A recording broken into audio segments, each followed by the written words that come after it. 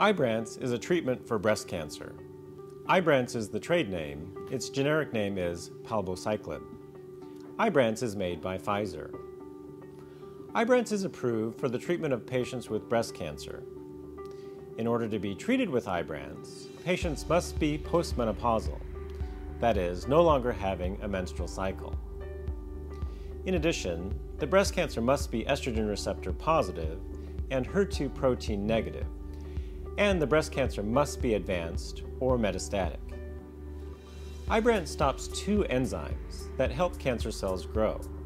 These enzymes go haywire in cancer, and Ibrance goes in and shuts them down. This is a type of targeted therapy.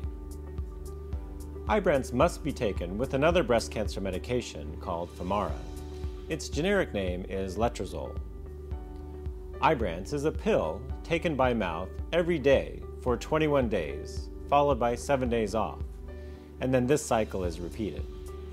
Ibrance is an important new cancer drug that when combined with the cancer drug Femara, helps patients live without the cancer growing or spreading.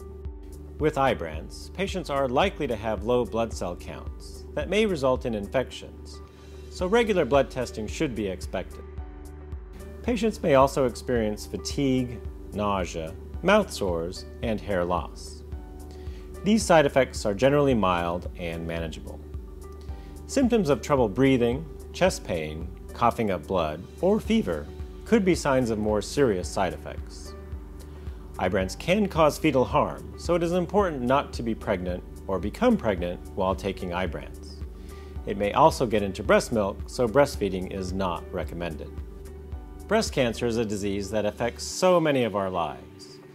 Ibrance is another great stride in finding a cure.